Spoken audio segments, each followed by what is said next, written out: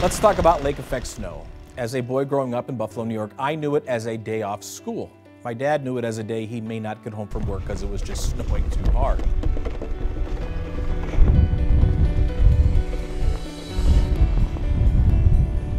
But how does it work? Well, first of all, you need a lake because it's called lake effect snow.